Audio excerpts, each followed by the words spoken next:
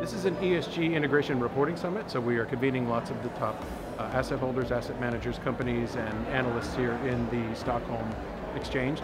I found the discussions really rich and also quite deep. And I think the value is that we bring together the different representatives, so I look forward to joining that.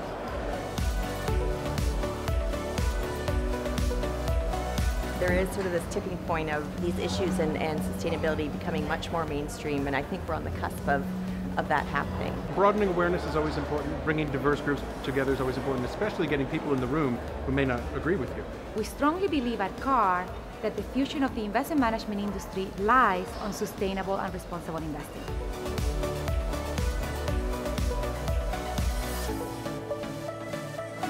Don't talk in financial markets about how climate change and growing middle class and an exploding population is going to affect uh, our, our borrowing capacity, uh, who will succeed and who won't.